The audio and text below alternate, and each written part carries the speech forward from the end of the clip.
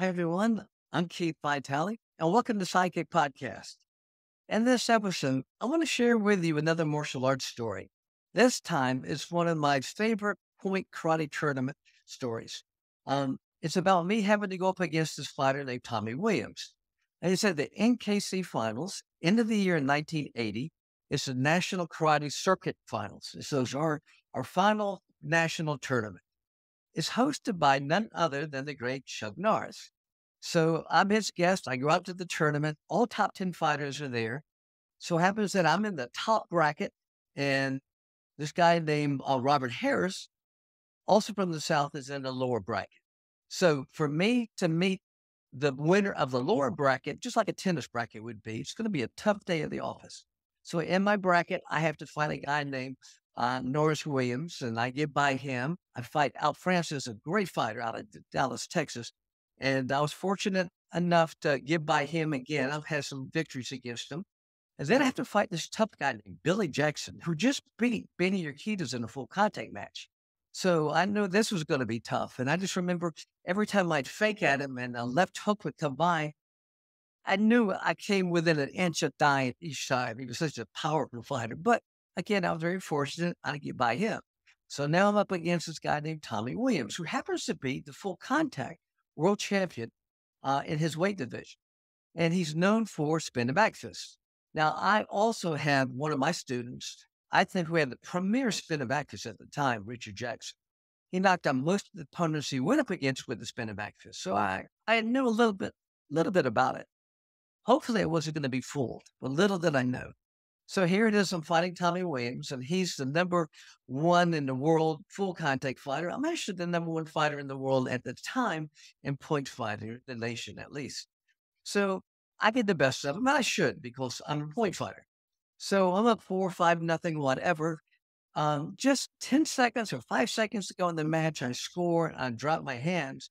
And Tommy does that spinning back fist. You know, you lock your arms out like this, and you get that full just pendulum swing and he just torqued his body, caught me flush against my jaw. Well, two, three seconds later, the center referee goes time and then winner points to me for winning mm-hmm. because I, I was up.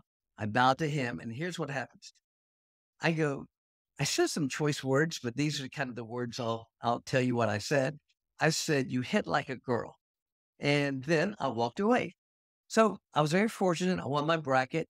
Robert Harris has won his bracket. Now he's gone through Nasty Anderson, uh, Rudy Smedley, Chip Wright, Dave Rupert. I mean, there's some really great Russ mates. There's some great fighters at the bottom, and he went through all of them. So now it's me against Robert Harris. Robert's number three or four in the country. I happen to be number one. I go three rounds with him, and I was very fortunate. I win that tournament. And here's the thing that happened. It's kind of weird. Uh, the final match was on on tables. You can imagine like mm-hmm. lunch tables, and they put a canvas over them. But my feet were being pinched. The bottom of my feet were being pinched every time we moved. So literally, my toes, my my feet were hurting after the match. My roommate happened to be Robert Harris, the same guy I defeated that you know in for the final of the tournament. The next day, the irony is he has to carry my trophy along with his second place trophy to the airport. And he's not a happy camper about it. He's he's calling me names and going, "This sucks. I can't believe I got a carry trophy." And, you know, so I'm I'm laughing and giggling the whole time. He's a great fighter, but uh, he's one of those fighters. I always had his number too. I was very fortunate to have his number, like Steve Fisher's and a few others like that. Um, so getting back to the Tommy Williams story. So a year later, I went. I'm at another event, and Tommy Williams runs into me, and it's like a dinner event he said, Hey, Keith, how you doing? And we go out there and uh, I shake his hand. And I go, Tommy, it's great seeing you again. He goes, Can I ask you a question? I said, Sure. He goes, Remember last year when you beat me? I'd hit you with my spinning back fist, flushing your, your face. And I said, Yeah. I, I said, Tommy, let me tell you something. I couldn't hear you or see you when I bowed. I called you a name and I was looking in a general direction. I was hoping you were standing there, but I was mm-hmm. literally out on my feet. Well, he was so happy to hear this because he said, Keith, I thought I lost my mojo. I hit you harder than I never hit anybody in my life. I hit you flush, and then you called me a girl and some other names.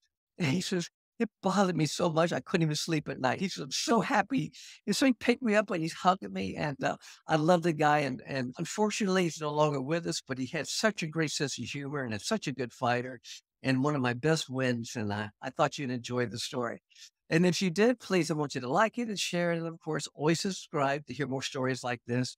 Leave some comments and I'll do my best to get back to you. Until next time, ciao.